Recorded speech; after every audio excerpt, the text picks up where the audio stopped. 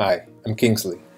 I'm pleased to share with you the new features in the AgileAssets 7.3 release and the value they add to your experience with the AgileAssets application. This new version is an accumulation of several smaller releases that we've issued since the 7.2 release. Since introducing the Work Manager mobile app in version 7.2, we've made several updates to the functionality of the app. We've also added a new work order history window. We refreshed the user interface of the work order creation wizard. We added a new screen for creating inspection teams.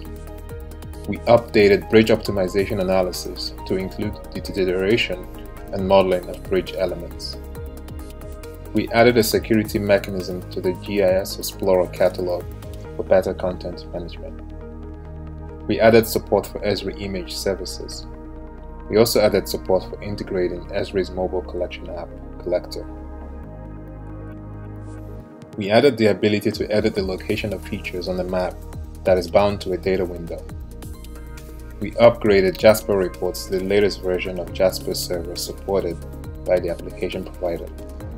And finally, we implemented several under-the-hood performance improvements and bug fixes. The Work Manager mobile app was introduced in version 7.2 and primarily benefits the crew lead so the lead and their team can record work in the field where the work is done. The app also benefits the maintenance supervisor, who can now quickly create work for the crews and review their work. These are the list of updates we've made to the app since the initial release. Now you can create and edit work orders in the field.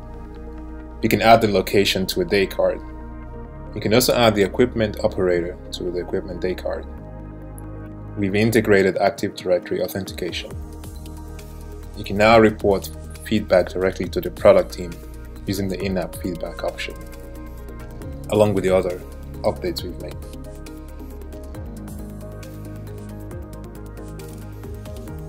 The new work order history screen benefits the maintenance supervisor.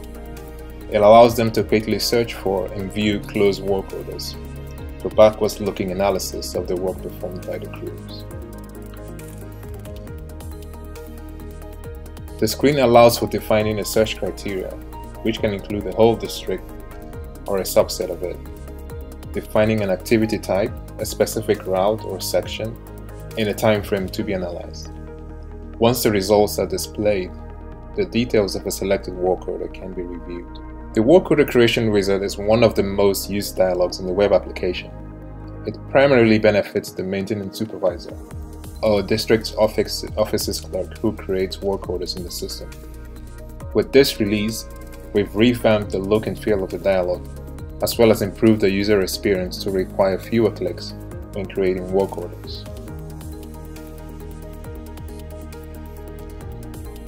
With the new user interface, the information required to create a work order can be entered in any order. Also, when a parent field is selected, the related child fields are filtered to show only the relevant options. So for example, when a project selection is made, only the asset types defined in that project are displayed for selection in the asset type field. The same goes for the selection of an activity for a selected asset type. Also, if you start the work order creation by selecting an activity, the applicable asset types and projects will be filtered based on the selected activity.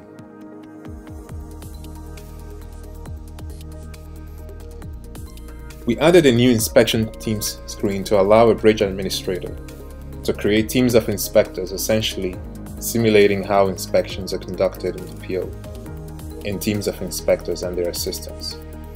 So rather than assigning an inspection candidate to one inspector, the bridge administrator can assign inspections to the team, so any member of its team can access the inspection data to complete inspection.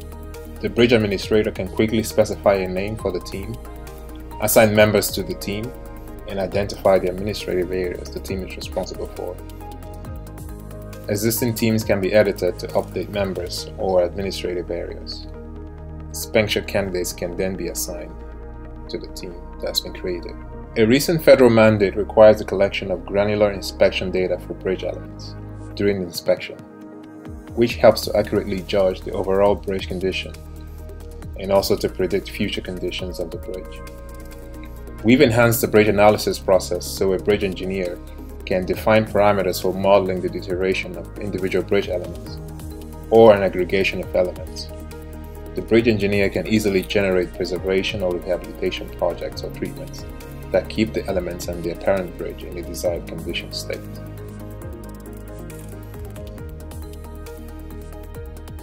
This screen shows a deterioration model for a selected element. The parameters can be adjusted by element based on the characteristics of that element. This screen is the detailed result of an executed optimization scenario. An optimization scenario specifies an objective to maintain a bridge network or a subset of bridges at a specified condition with a budgetary or some other constraint. The system then generates projects or treatments that satisfy the stated objectives and constraint. In this case, the treatments are generated at the element level.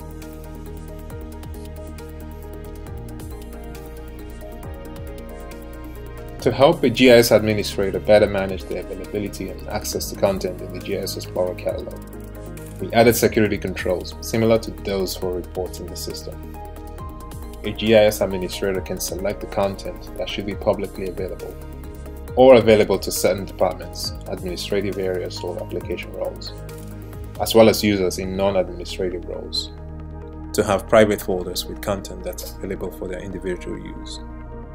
These mechanisms greatly streamline the catalog and content, which allows the administrator to focus on other important aspects of their duties. This screen shows how a GIS administrator can share a folder and its contents with specific user roles with an administrative area. Only users belonging to those administrative areas or assigned to those roles will be able to access the content. This screen shows how an administrator can make the contents of a folder public for everyone in the organization to view or edit, or define read-write permissions for a specific folder.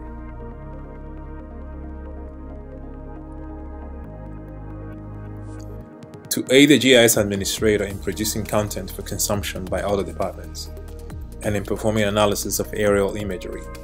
We've added the ability to create a map layer from a published Esri image service. This screen is showing a map layer created from an image service of the coastline of a spit after a hurricane. This can be layered for a before and after analysis to see how the coastline has changed after the event occurred. The Esri Collector is a mobile app that enables offline or online collection of inventory or inspections for asset classes using simple forms. To aid an asset inventory manager in keeping their inventory up to date, as well as being able to see the spatial location of assets, we've integrated the deployment of collectors so that collected inventory or inspections data are synced directly to the associated dataset in the Agile Asset system. This integration also enables any existing business rules for an asset class to be applied to the collected data. This screen shows an inventory form for hydraulic structures. This collector screen shows an inspection and work request collection form with the option to attach a photo of an inspected asset. This form also allows the inspector to view the last inspection report for that asset. In version 7.2, we added the ability to edit the location and attributes of features in the GIS Explorer map screen to provide an inventory manager with better visibility into the location of their asset inventory. The bound map screen shows the spatial representation of assets in the data grid. So while reviewing the details of a specific asset, if the inventory manager determines that the spatial location is inaccurate, rather than going to the GIS Explorer map for that asset class, they can edit the location in the same inventory screen by simply selecting the location and dragging it to the new location for a point asset or updating the beginning or end mile point for a linear asset or event. This screen shows a data grid with map screen for a bridge inventory, which are represented by point features on the map. Finally, we updated the Jasper version of Jasper reports in the application to bring it up to date with the current version available from TIBCO, the application provider. This version update will benefit all users in the application that create or view reports. The new version supports interactive reports and makes it easy to create new or ad hoc reports. Reports can be exported to a wide array of options, essentially the Microsoft Office suite of apps. Or a report can be exported as an image. The version also allows the deployment of reports creation and execution to a separate server, which can help improve the application's performance, since these activities no longer bog down the application server. This screen shows a report in a line plot, with the option and dialog to change the representation from the set of available chart types. Thank you for watching this video. To learn more about the version or the AgileAssets family of products, visit us at agileassets.com. Thank you.